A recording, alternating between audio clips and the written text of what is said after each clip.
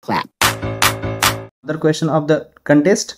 I have already uploaded the q1 and this is q2 okay? Let's understand the uh, very important and interesting problem. Minimum swap to sort by digit sum and we'll cover the intuition and we'll go through the step by solution. Okay? So you are given an uh, array of distinct positive integers and you have to sort this array but not in the usual way. You need to sort it based on the digit sum of uh, each number for example let's suppose we have given uh, digits right?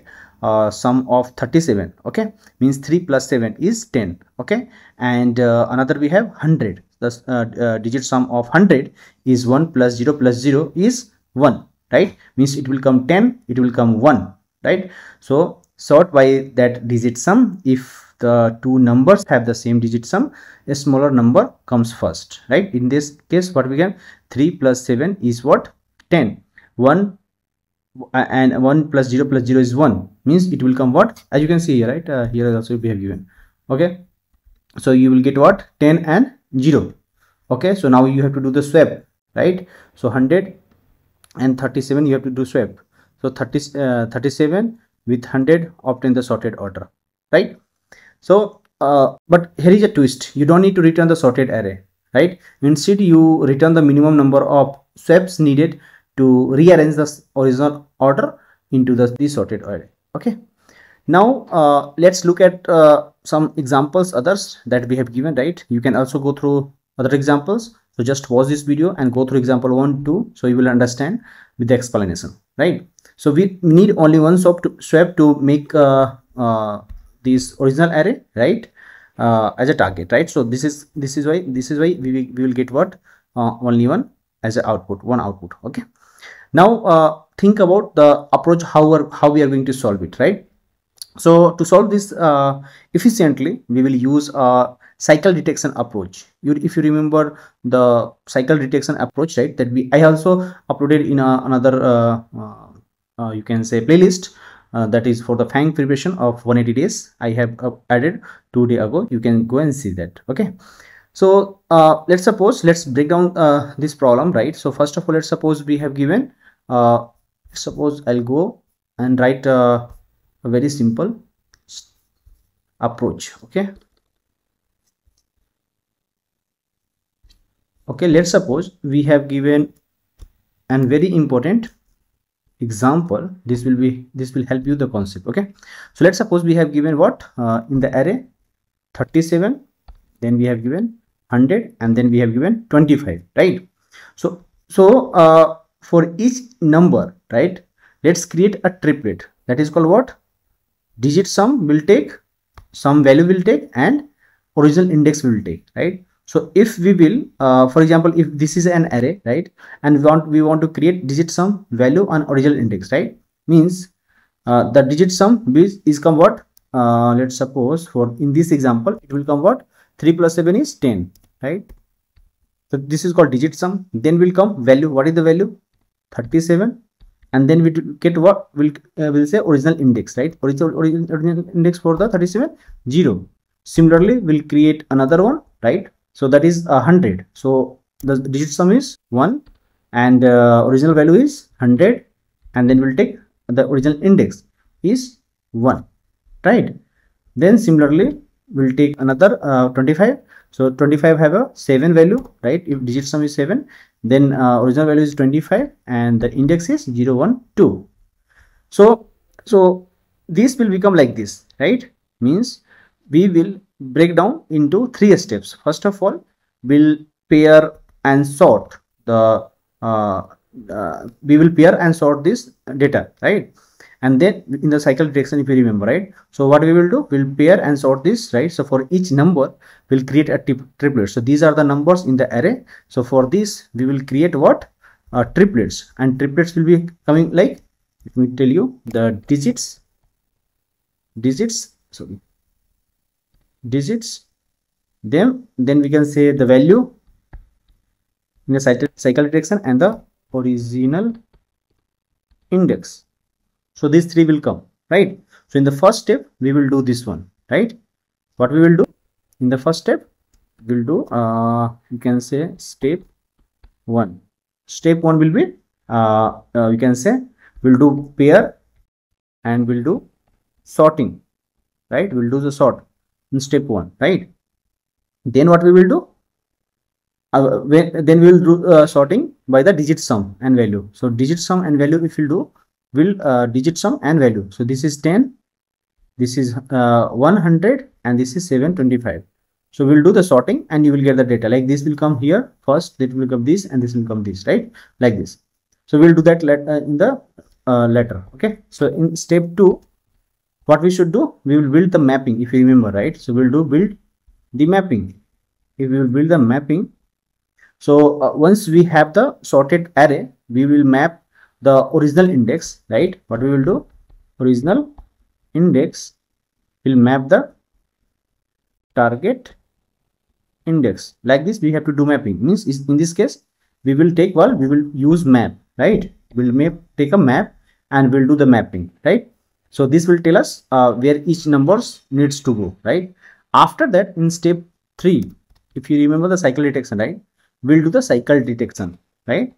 We'll do cycle detection right? So how will you detect the cycle right? Now imagine the array as a graph where each node points to the index where uh, that number should go right? So every cycle of uh, size k requires k minus 1 swap right? If cycles uh, let's suppose if cycle size is k right? Means it will swap how many times? K minus 1 swap right?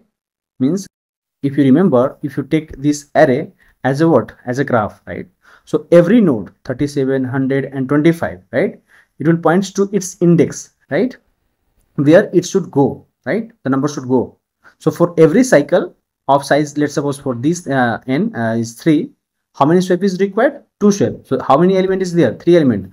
How many swap is required? 2, n minus k, right? So you can uh, k minus 1. So 3 is k is 3. So k minus 1 is 2. The 2 swap is required to do this. Okay. So we just detect all cycle and we'll add up the swap. Okay. So in this case, like first of all, what we have done, we have uh, created uh, uh, these uh, pairs, right?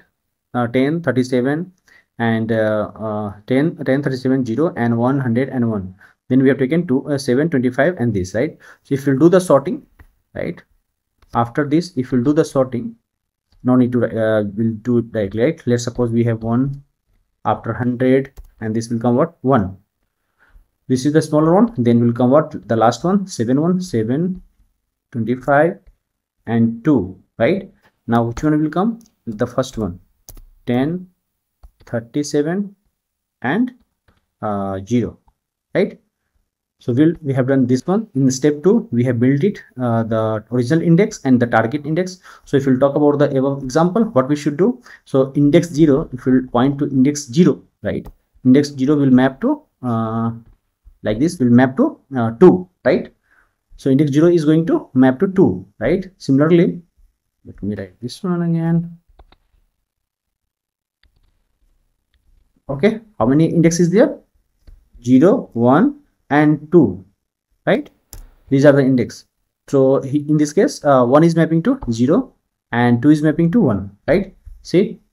So this this this this 0 is going where? At index 2 right? So we are mapping like this. Similarly the index 1 is mapping to 0 so we, will map like this. And then the index 2 is going to where? Index 1 right? So we have done the mapping right? So this forms as if you see that there is a cycle you can see this forms a cycle right? How? 0 0 this one so how it is forming the cycle? Sorry. Okay. So 0 is pointing to 2 2 and then 2 is pointing to uh, 1 and now 1 is pointing to 0 right? So we can say this forms cycle right? So total length is what how many length is there? So cycle length is cycle length is 3 right? So how many length is required right? Not here you can say here. So cycle detection we have done. You can take this step as a uh, and how many swap is required? Swap is k minus 2 is 2 right? So we have detected the cycle here in this step and we have got the data right i hope you understand right? Let's see the example. You just you you should understand this step okay? And then you can uh, understand this coding step. Because see what we are doing we are using the digit sum sorting cycle we are doing the sorting and then we are doing the cycle detection right? And so uh, you should aware aware of uh, the uh, what we are doing here okay? So first of all we will build the triplets right? Then we'll do the sorting and then we'll create the map right and finally we'll do the cycle detection right? And to do the cycle detection first of all we'll uh, go through all the uh, nodes we'll check if it we have already visited right? If we are not visited mark is as visited and then assign the values then check how many swaps is required and finally return the swap.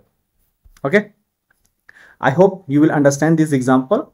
Let me know in the comment section right uh, for the full section you just pause this video from here and check the uh, steps right? So first of all what we what we need to do we will create will the triplets then we'll do the sorting and then we'll do uh, mapping and then we'll detect the cycle and we'll find the number of swap required right? And finally we'll return the swap.